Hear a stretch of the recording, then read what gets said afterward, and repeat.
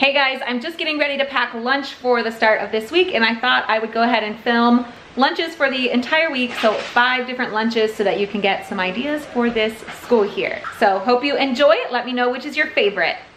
First off, we have like meat, cheese, and crackers, and I keep the crackers separate so that they don't go in the fridge, but I have pepperonis, cheddar cheese sliced, and then I also have um, red bell peppers, strawberries, and in this little container here, I have the ranch for the peppers. She won't eat them without it, so gotta make sure to include that. In this pouch, I also have chips and pretzels and some goldfish in there. She has snacks separate to lunch, so I have to make sure to include a little something extra for snack. And then we also have an apple juice and a yogurt tube, just really easy for school. And then in the top separate pouch here, I always keep a napkin first, always give her a napkin, some gushers for a little treat. And then I do also always try to put a little special note in there for her as well. So that's day one. For day two, here we are. We are going to do salami and cream cheese roll ups. I gave her five, she's five, and she came home with two. I also pre broke up a clementine just so that she could actually do it at school and wouldn't have trouble, as well as some cut up red bell pepper into strips and a little side of ranch there. Again, she won't eat it without it, so I have to make sure to include it. I also gave her a yogurt tube, a different flavor today, as well as some chips and pretzels for snack. And just as a side note, I really do love these reusable sandwich bags. Today, I'm also doing a chocolate milk.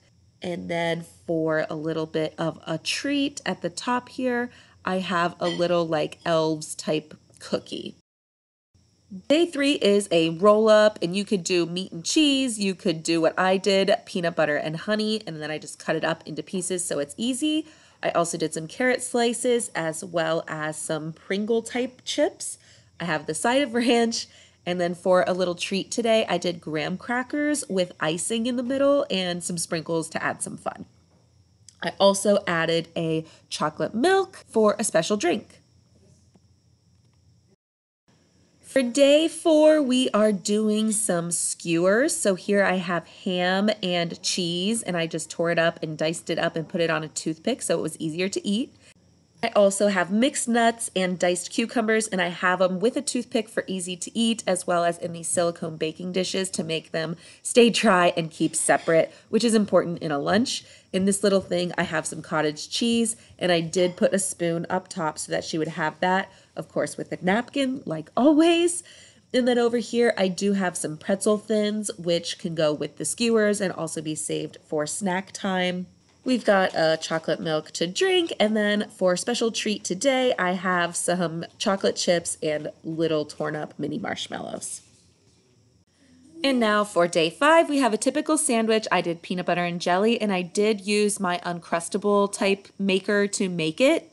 I also have sliced red bell peppers. Those are her favorite, as well as cherry tomatoes today. And then in this little compartment here, I have yogurt and I just put some sprinkles on it to add a little bit of fun. And I did include her spoon above. I also have a banana and some Triscuit type crackers, as well as regular crackers for snack. I have a fruit strip and some applesauce for treat today, of course, a napkin and also a peanut butter chocolate cookie. Thanks for watching. Hope you got some good ideas. Let me know if you want any more specific back to school content. I'll see you next time. Bye.